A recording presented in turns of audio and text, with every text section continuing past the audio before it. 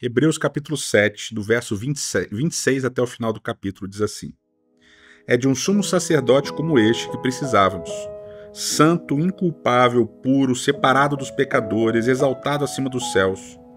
Ao contrário dos outros sumos sacerdotes, ele não tem necessidade de oferecer sacrifícios, dia após dia, primeiro por seus próprios pecados e depois pelos pecados do povo.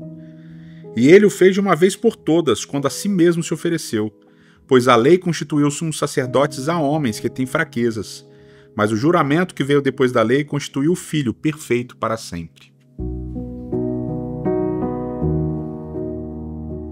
O Salmo 110, que é usado aqui para estabelecer essa teologia pelo autor de Hebreus, ele é extremamente importante.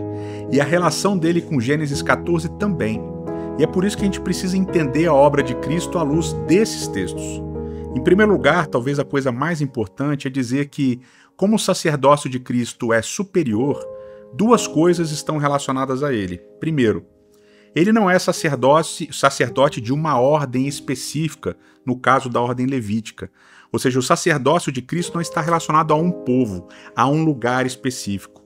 Quando a gente diz que o sacerdócio de Cristo é o sacerdócio de Melquisedeque, significa que ele é sacerdote de todos os povos, de todos os lugares. Ele não está restrito a uma igreja, ele não está restrito a, um, restrito a uma etnia, a uma teologia. Pelo contrário, Cristo é o sacerdote de todos, em todos os lugares.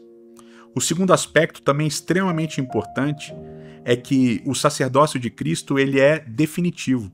Ou seja, o nosso sacerdócio, que muitas vezes as pessoas comparam com pastorado, ele não lida com o pecado pastor, qualquer líder religioso, não tem sobre ele o papel de um sacerdote servindo no templo. Ou seja, nenhum pastor e nenhum líder religioso precisa mais lidar com, com o problema do pecado.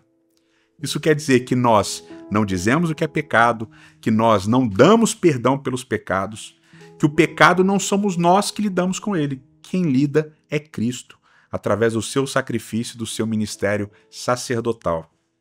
Portanto, você não está preso a nenhum sacerdote, a nenhum pastor, a nenhum líder religioso.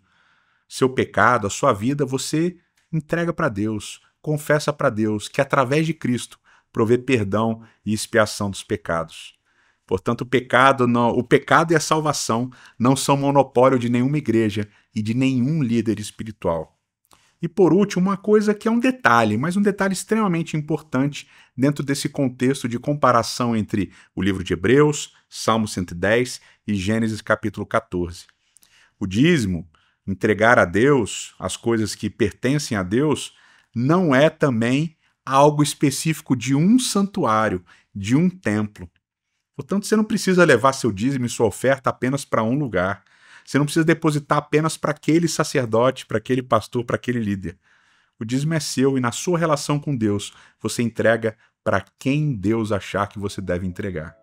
Portanto, você não está refém de nenhuma igreja, de nenhum líder, de nenhum pastor. Nós todos servimos apenas um Messias, Jesus Cristo.